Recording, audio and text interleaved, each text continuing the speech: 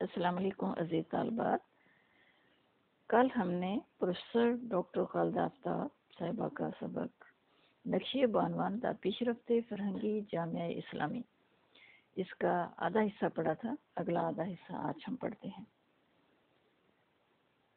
दरमियान बानवान शिबेकार मुकाम ममता सुल्ताना रजिया, बरए बानवान सरासर जहान इस्लामी बाईस इफ्तार ओ नखुस्तीन मलक मुसलमान बूद हम चुनीन सुल्ताना चाँद बीबी दर रदीफ़ बानवान रसमंद जहान, दर तारीख, निज़ामी, हिमताई, नादाश्त।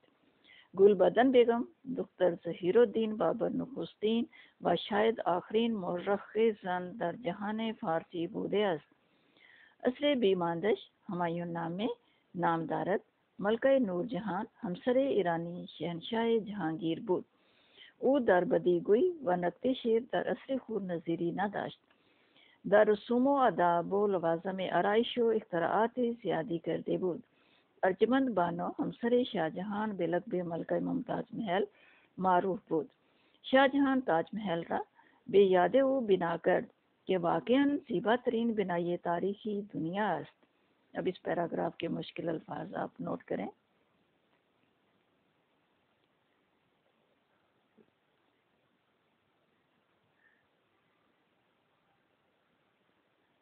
अहमियत, फ़ौकुलादे, गैर मामूली अहमियत, बायस इफ्तार काबिल फ़ख्र, रदीफ़, पीछे, निज़ामी तारीखी। तारीख निज़ामी, फ़ौजी तारीख बदी गुई, हाजिर जवाबी, यानी फिर फ़ौर किसी बात का जवाब देना, यानी शेर, किसी शेर के जवाब में कोई फ़ौरन कोई शेर अर्ज़ करना। बिनाई, इमारत। अब इस पैराग्राफ का आप तर्जमा सुने। दरमियान बानवान शिबाकार मकाम ममता, सुल्ताना रजिया बरए बानवान, सरासर जहान, इस्लामी बायस इफ्तार बर सग़ीर की ख़वातीन के दरमियान रजिया सुल्ताना का बड़ा नाम सारी इस्लामी दुनिया की औरतों के लिए काबिल फ़ख्र है। वो नखुस्तीन मलका मुसलमान बुद वो पहली मुसलमान मलका थी।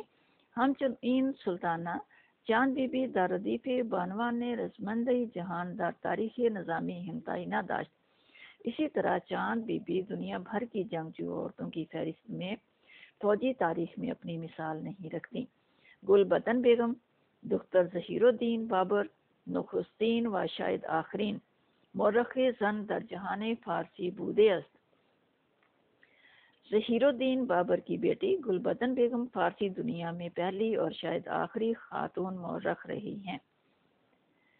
असर बेमादश हमायूं नामे नामदारत उनका बेमिसाल काम हमायूं नामे है, यानी हमायूं नामे उनकी किताब का नाम है जो उन्होंने लिखी। मलक नूर जहान हमसर ईरानी शहनशाह जहांगीर बुद्ध। शहनशाह जहांगीर की ईरानी बीवी मलका नूर जहान थी।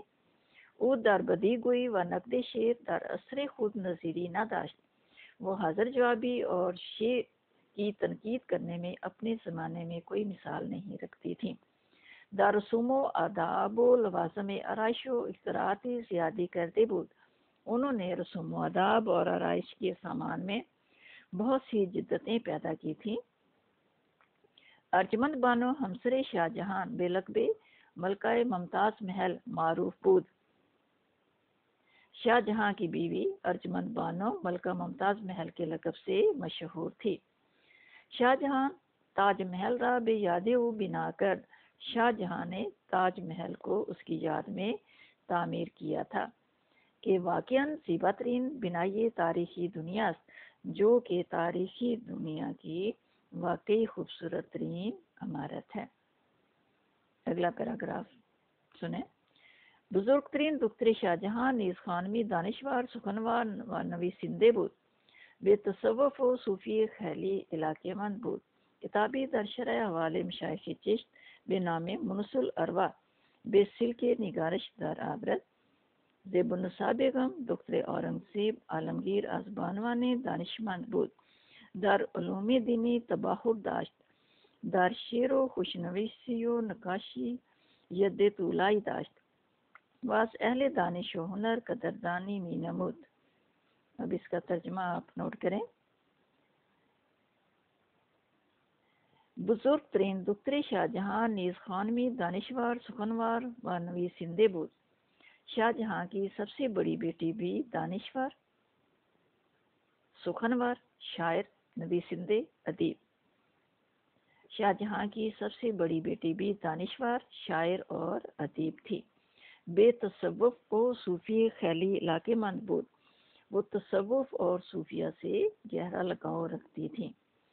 किताबी तरशरा हवाले मशाइशी चिश्त बेनामी मनसुल अरवा बिसिल के निगारिश दार आवरत और एक किताब चिश्तिया बुज़ुर्गों के हवाल की शरह में लिखी, जिसका नाम मनसुल अरवा है। जेबुलनसा बेगम दुख्तर औरंगज़ेब जहांगीर औरंगज़ेब आलमगीर अजबानवा ने दानिशमंद बुत औरंगज़ेब आलमगीर की बेटी जेबुलनसा बेगम अक्लमंद औरतों में से एक थी। दलूम दीनी तबाहुरदाश्त और वो दीनी अलूम में मुकम्मल महारत रखती थी। दारशेर खुशनवीसी व नकाशी यद तोलाई दाश्त शायरी खताती और मुसवरी में यद तोला यानी ख़ास महारत रखती थी। व अज अहल दानिश हुनर कदरदानी में नमूद अहल दानिश और अहल हुनर ने आपकी कदरदानी की। मुंतहा बानवान बाफरहंग मुसलमान दार पीशरफ्त फ़रहंग दरक्षान इस्लामी से बलीग नमूदन बाकत अस मर्दान नामांदन। दुख्तरानो बानवान मुसलमान बायत रोह अनहरा इदामे भी दहन। व दर पीशरफ्त इल्म दानिश फरहंग नक्श मोहमी इफ़ाकुनन। मुंतहा मुख्तसर ये के बानवान बानों की जमा है। मुंतहा बानवान बाफरहंग मुसलमान दार पीशरफ्त फ़रहंग दरकशान इस्लामी से ये बलीग नमूदन मुख्तसर ये कि मुसलमान सकाफत के साथ खवातीन ने रोशन इस्लामी सकाफत की तरक्की के लिए ज़बरदस्त कोशिश की है। व अकबतर व अकबतर अज मर्दान नामांदन मर्दों से पीछे नहीं रही हैं। दुख्तरान व बानवान मुसलमान मुसलमान लड़कियों और ख़वान को चाहिए। बायद राह अनहारा इदामे बेदाहन के उनके इस तरीके को जारी रखें। व दर इल्म दानिश व फरहांग नक्श मोहमी फ़ाकिन इल्म दानिश और सकाफत की तरक्की में अपना अहम किरदार अदा करें।